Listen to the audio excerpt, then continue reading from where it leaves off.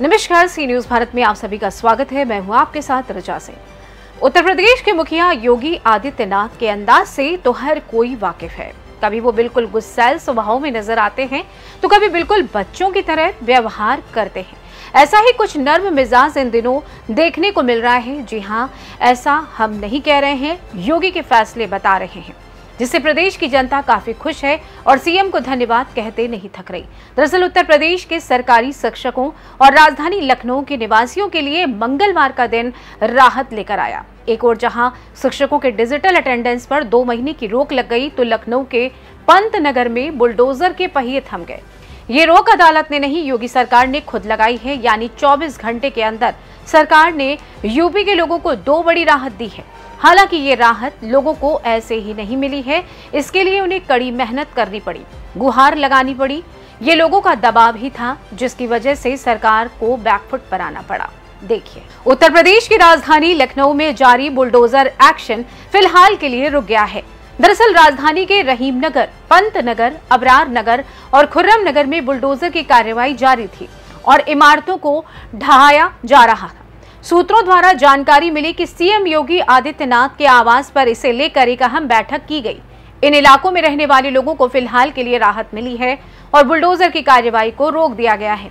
आपको बता दें कि लखनऊ के कुकरैल नदी के किनारे घरों को चिन्हित किया गया था। नदी के 50 मीटर के दायरे में बने घरों को अवैध बताया गया। कुकरैल रिवरफ्रंट के दायरे में रहीम नगर खुर्रम नगर इंद्रप्रस्थ नगर पंत नगर और अबरार नगर के करीब एक हज़ार मकान हैं। मकानों को चिन्हित कर उन पर लाल निशान लगा दिए गए थे। इन मकानों पर बुलडोजर चलाया जाना था। लोगों ने इसका विरोध करना शुरू कर दिया था। लोगों का कहना था कि हम सब के पास रजिस्ट्री की कॉपी है। बिजली के बिल हैं, फिर घर कैसे अवैध हो गया? यहाँ पर रहने वाले लोगों का कहना था कि जीवन भर की कमाई से उन्होंने मकान बनाया था। लोन लिया था। मकान टूटने के बाद हम लोग सड़क पर आ जाएँगे।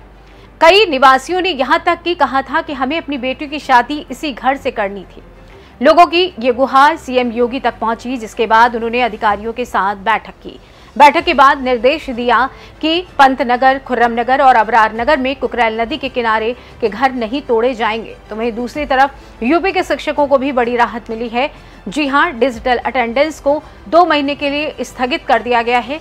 इस दौरान एक समिति का गठन किया जाएगा, जो शिक्षकों के मुद्दों को समझेगा। सरकार ने ये कदम शिक्षकों के भारी विरोध के बाद उठाया है। शिक्षक योगी सरकार के डिजिटल अटेंडेंस के फैसले का शुरू से विरोध कर रहे थे। ज़ाहिर है, कुकरैल नदी के सौंदर्यीकरण को लेकर पंत नगर समेत अन्य इलाकों में ध्वस्तीकरण की कार्यवाही की जा रही है। इसे लेकर पंतनगर में महिलाओं ने विरोध प्रदर्शन किया। महिलाओं का कहना था कि वे अपने घरों को नहीं छोड़ने वाली हैं। वहीं बता दें कि इस दौरान छोटे बच्चों का भी जो विरोध करते दिखे और उन्होंने सीएम योगी से कार्रवाई रोकने की अपील की जिसको देखते हुए सीएम योगी ने बड़ा फैसला लिया। साथ ही शिक्षकों को भी फ़िलहाल के लिए राहत दी है। अब आगे इन मामलों को लेकर सरकार क्या फैसला लेती है, ये तो आने वाला वक्त ही बताएगा। फ़िलहाल इस खास रिपोर्ट में बस इतना ही।